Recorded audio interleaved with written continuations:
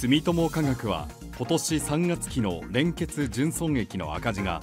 過去最大の赤字幅となる3120億円になる見通しだと発表しました。医薬品事業を手掛ける子会社の住友ファーマの損失計上などが影響し予想していた2450億円の赤字から拡大した形です。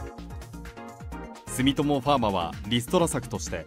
国内外で4000人規模を削減することを明らかにしました。住友化学の岩田社長は創業以来の危機に立たされている。まずは止血をすると述べています。